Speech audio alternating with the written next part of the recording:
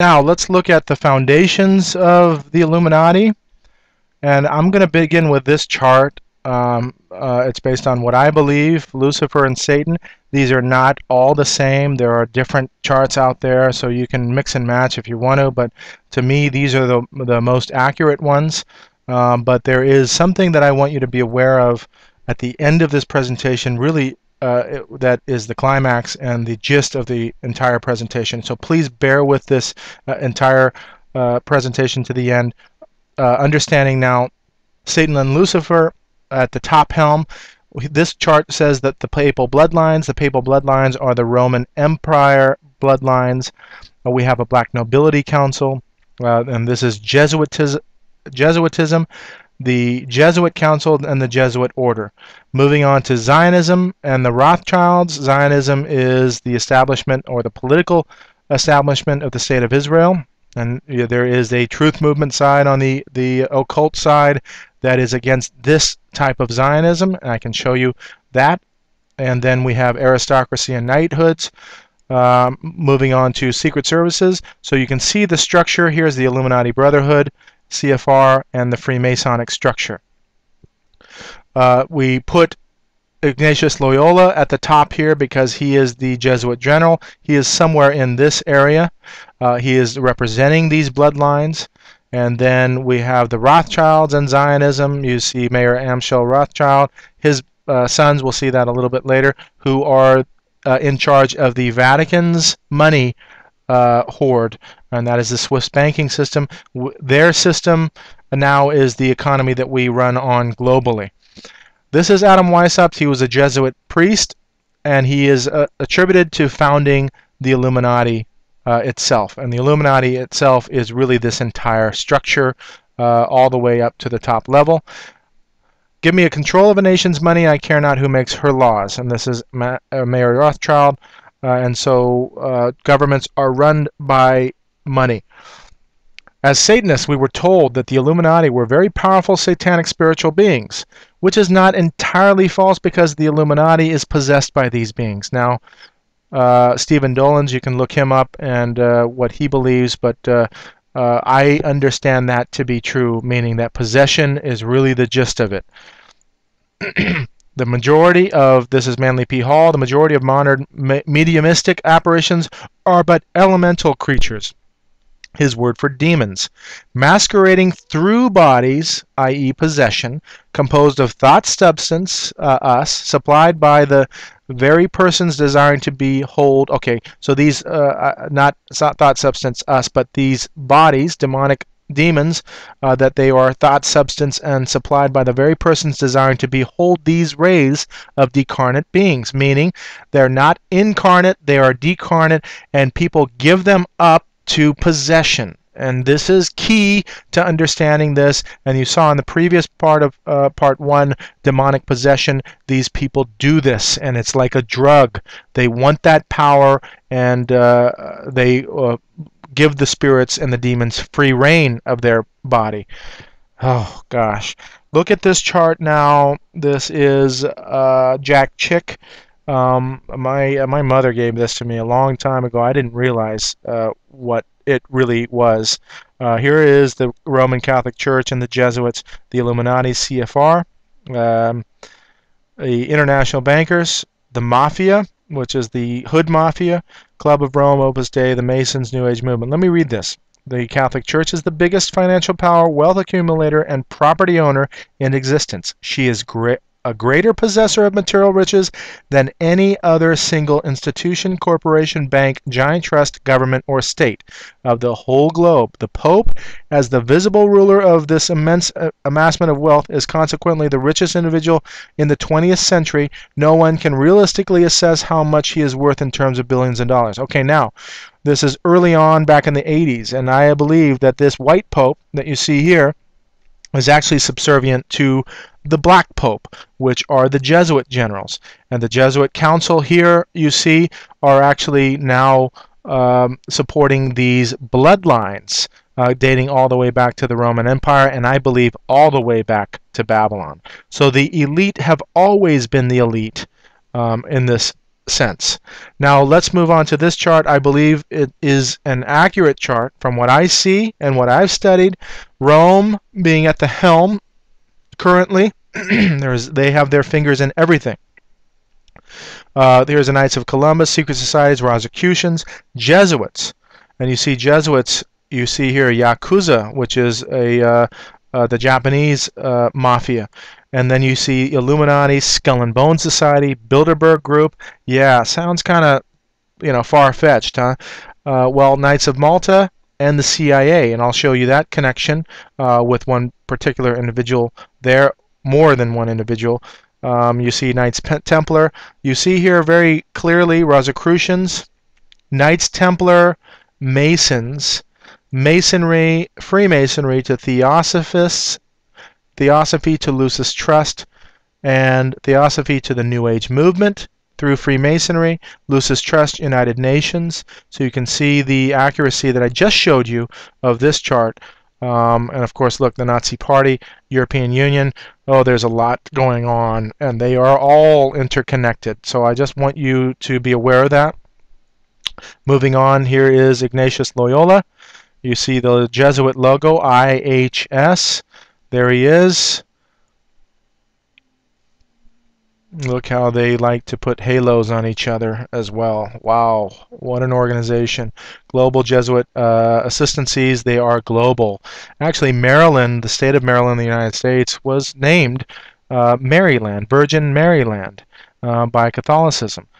And so you see who they are, all dressed in black, for your consumption. Now, Blavatsky, and I don't like to quote from her, but uh, that you can take some truths out of it and just uh, uh, divulge information. It, it is curious to note that that uh, to, uh, two, that most of the bodies which work these, such as the ancient accepted Scottish Rite, the Rite of Avignon, the Order of the Temple, Fessler's Rite, and Grand Council of the Emperors, uh, of the East and West, sovereign prince, masons, etc., etc., are nearly all offsprings of the sons of Ignatius Loyola, the Baron Hundt, Chevalier, Ramsay, Tschudi, uh, Zen, all these family bloodlines, um, and the grades of these rites worked under instructions from the general of the Jesuits. Um, just to show you. And of course, she's part of it, and she admires this rather than uh, does not admire this. So this is just showing you bloodlines. Now looking at the supposed birthday of the Illuminati, at least the Colombian faction, it is said that uh, its birthday is May 1st, 1776. That's why you actually have the 1776 on the bottom of the pyramid, um, when it is also the birth date of the nation. Uh, but May 1st is a satanic holiday. It is called May Day or Beltane's Day, and that's usually when they do the maypole um, uh, pagan dance around. Uh, we look at Rihanna here uh, in pop culture now, and she has Adam Weishaupt's image on her arm. And within a video, she's called the Princess of the Illuminati. So they are externalizing this idea of the Illuminati. They're not caring anymore. Um, it really is in your face. And so uh, if we go one more generation, we're really not going to care anything about this. The new generation will because they'll be completely programmed into the, uh, because of the media uh, and entertainment uh, doing this type of thing. We have looking at the Rothschild dynasty. These are the five brothers of Mayer Amschel Rothschild who went out and established uh, central banking using uh, the uh, uh, Vatican Hoard. So they are, are essentially lieutenants of this Vatican Hoard given charge of uh, establishing economies this way. And this is what we see globally now taken over the world, the establishment of this current fractional reserve banking economy. And so you can see here is the Rothschild emblem. Within that emblem, there is a six-pointed star up above uh, as well. This is attributed to uh, the fact that the Vatican and the Nazis were working together and hoarding money through the Swiss banking system. That Swiss banking system is completely private, um, so there is no transparency at all.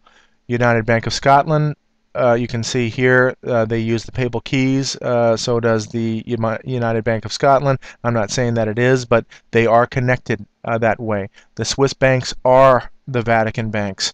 Um, and also you can see the checkerboard floor. This is an ominous image um, that they actually created a Vatican bank. So uh, they're out in the open with uh, a, an actual bank itself. So here we have a, an, a religious institution involved in that which uh, they shouldn't be involved with, banking. Um, are you going to serve God or mammon? Mammon meaning money, and God is uh, uh, uh against this.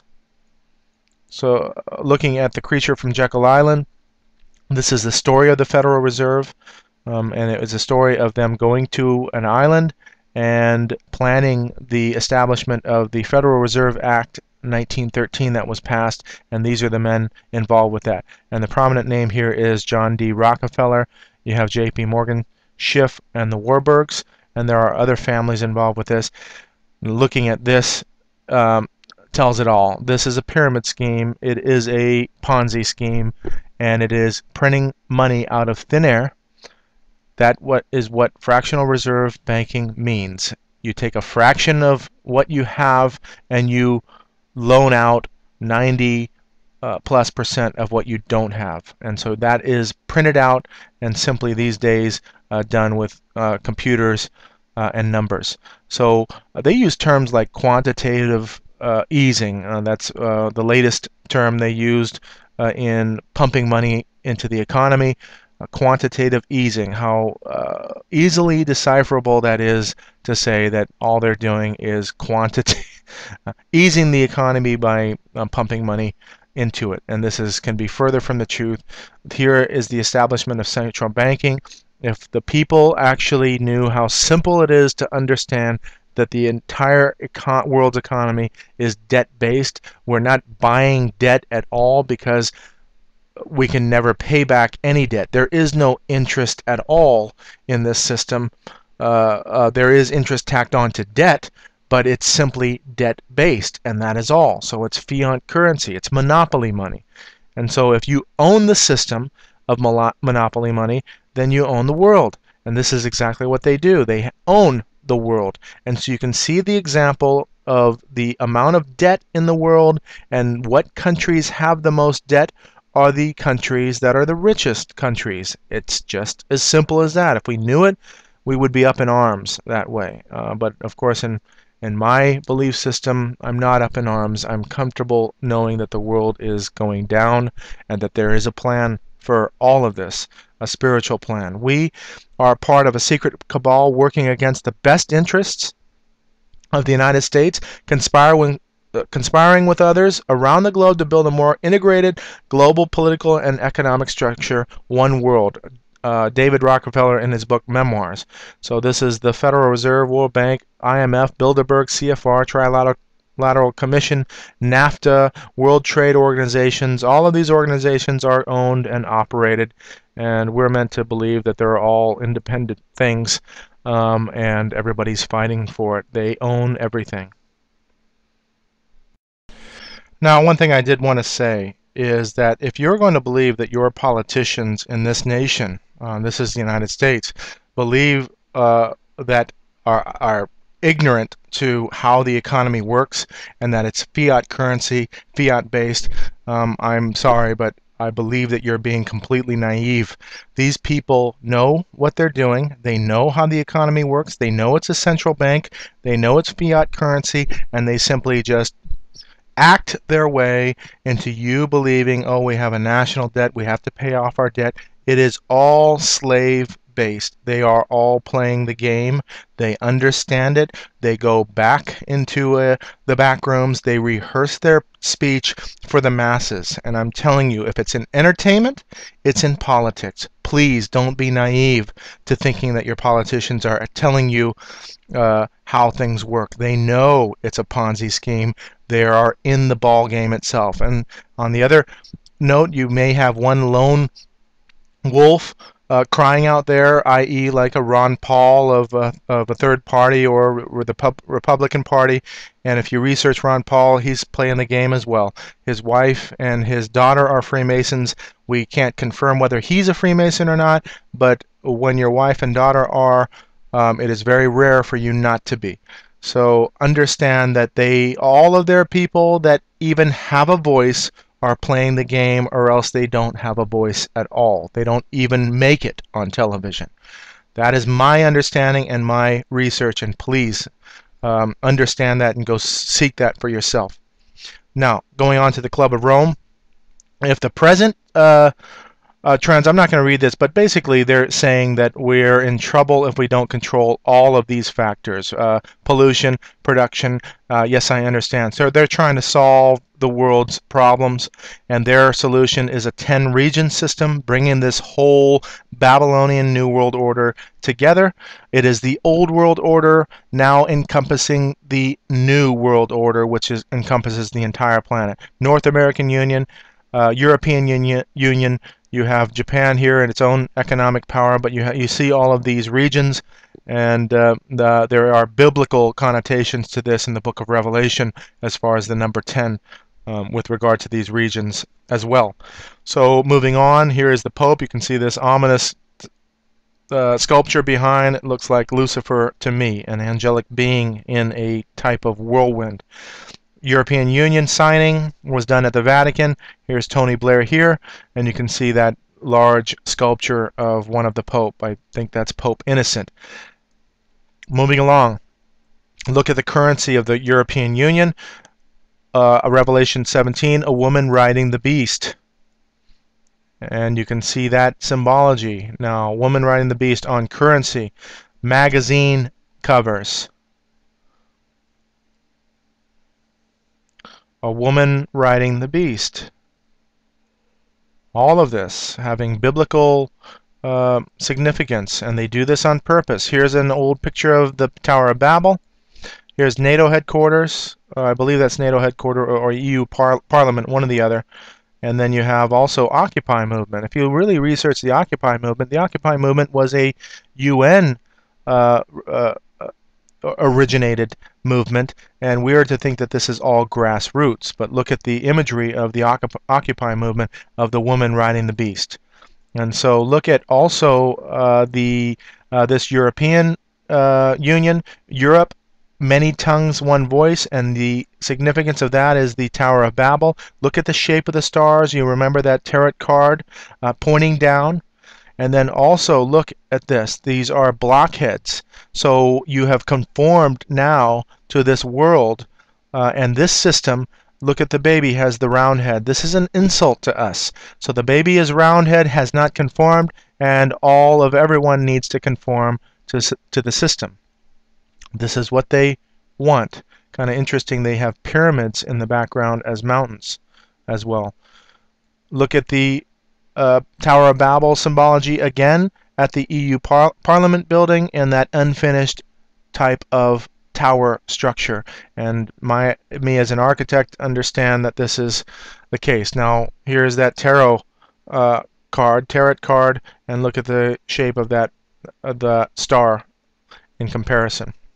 Moving along with the emblem of the 33rd degree and Ordo ab Chao, order out of chaos uh, you have this sapientia s-a-p-i-e-n-t-i-a sapientia refers to the um, uh, constitution of the vatican. You have the solvent cross which is also a vatican uh, creation called the solvent cross. So you have this reference to rome. And again you, i show uh, napoleon with his roman hand of power sign of the benediction and laurel leaf and the Caesars wore the laurel leaf. What I'm going to tell you is that Rome has been continually putting on a face or a veil of Jesus you know, when in fact they're uh, completely pagan. Finishing up this plate, let's look at this final chart here. And so you have the uh, black popes. Uh, they are representing these bloodlines and you have the uh, uh, Jesuit Council, uh, Black Pope, White Pope, This is the old uh, Black Pope, and this is the new Black Pope. And then uh, I've also heard that there is a Gray Pope who we don't see, but anyway. We move along, and you see now Knights of Malta. This is Knights of the Order of St. John, and the Solvent Cross there. And then you have uh, them here. This is the Knights of Malta, and you see the Maltese cross. You see this adornment with crown. You see that same adornment with crown on all of the degrees of the Scottish Rite. And this is the 33rd degree adornment, and you can see the similarity between the two adornments um, uh, in that Scottish Rite. You can see the adornment inside the lodge as well being that same type of adornment. They are one and the same. Rome is uh, Gnosticism, is Knights Templar, is Freemasonry, and all the way through is Rosicrucianism. And you can see that same adornment. Now here's a double-headed eagle with the black and white dualism symbology, the eye of Lucifer, or the triangle emanating the Knights of Malta or the Maltese cross. Now you see royalty being down on the list. They are actually owned by this Roman system. And they are allowed to reign, rule and reign their particular uh, countries in this colonial Roman system. And now you see presidents and dignitaries way down on the list. Freemasonry, Freemasonry is simply a church for these guys, and there are high level people that own corporations and run corporations and are allowed to be wealthy uh, that run them. Knights of Columbus is the uh, Catholic version. What they like to do is separate themselves from the other organizations and then create another uh, sister organization like the Knights of Malta that are exclusively Catholic. And so uh, here are the Knights of Malta way down on the list, and you see them uh, in their pageantry sometimes. And these are uh, usually people they don't know exactly what they're, they're doing, but the higher levels up in the organization are the ones that know uh, what is going on.